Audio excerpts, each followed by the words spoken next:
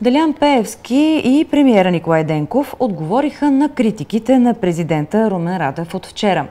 Припомняме, че пред журналисти държавният глава заяви, че цялата режисирана истерия издава страх от нова партия.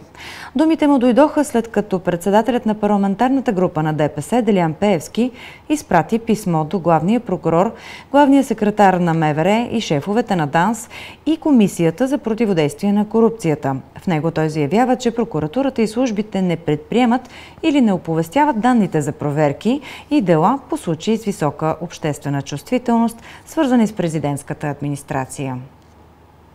Не мога да разбера прибързания бърз отговор на прокуратурата по това, което прочете едно съобщение в медиите от мене. Аз още не съм си подал питанията, колеги. Аз не знам а, как се случва това нещо.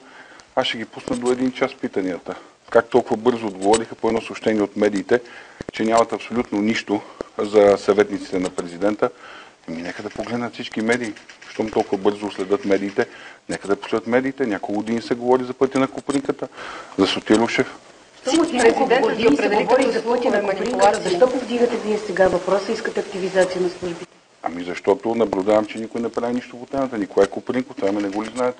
Първо, още от първите дни, в които продължаваме промяната и, и Демократична България влезаха в а, политиката заедно, поставихме въпроса за това, че всички сигнали, всички слухове, ако щете, стига да има достатъчно основания, трябва да бъдат разследвани и тези разследвания трябва да приключат с крайен резултат и там, където има нарушение на закона и със съответните присъди.